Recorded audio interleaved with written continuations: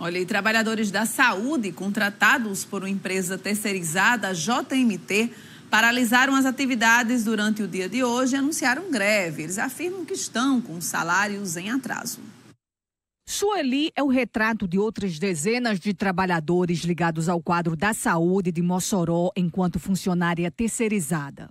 O salário está atrasado, né?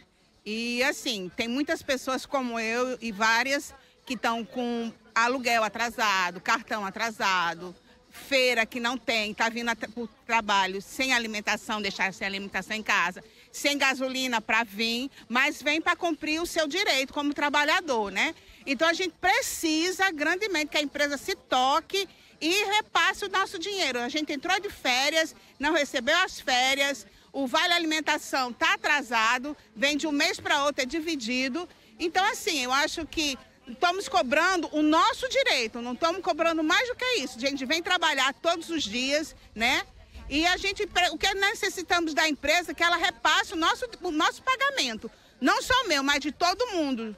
O representante do Sindicato dos Trabalhadores da Saúde em Hospitais, Clínicas e Laboratórios Privados de Mossoró, Citrapan, a Carvalho, reforçou a lista com pontos que estão sendo quebrados pela terceirizada e que por isso obriga a mobilização da categoria.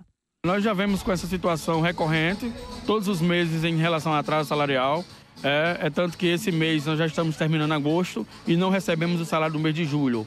Então, as pautas que estão aí é, para ser resolvidas serão a questão do salário do mês de julho, que está atrasado, o cartão alimentação também está atrasado, tem férias de servidores aqui que são 3, 4 anos que estão pendentes, FGTS não está sendo depositado na conta dos servidores.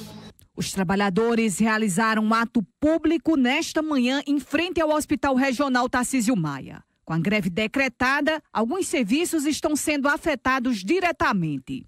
A greve em Mossoró ela está firme, a partir de hoje está decretada, defragada a greve a partir de hoje, até que, esses, até que essas pendências sejam resolvidas.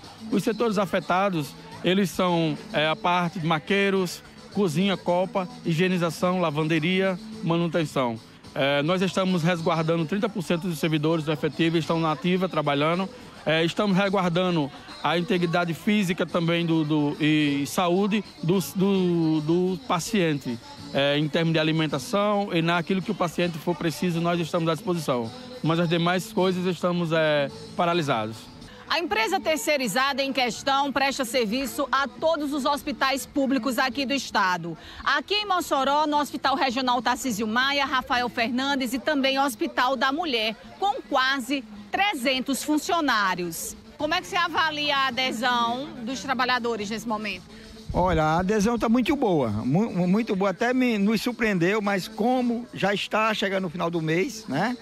E esse trabalho já estão sentindo mesmo no, na, em cada situação, por sair de casa e não ter mais o que comer, estão sim é, aderindo o movimento da, da, greve. Inclusive, a gente sai daqui vai para o Rafael Fernandes, Hospital da Mulher, que toda esse, a, essa rede desses trabalhadores estão sem receber esse salário. As férias, ou seja, todo descumprimento, esses trabalhadores estão sem, é, sendo desrespeitados, né? Pelo Estado, pelo a CESAP, pela essa empresa.